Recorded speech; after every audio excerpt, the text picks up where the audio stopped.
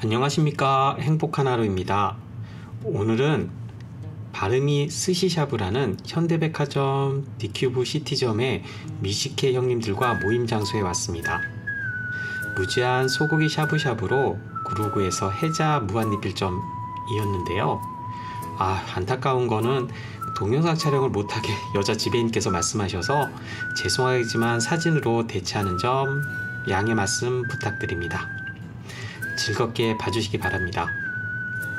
그리고 모임 이후 3시간 동안 서울 시내를 운동 삼아 걸었다는 점이죠.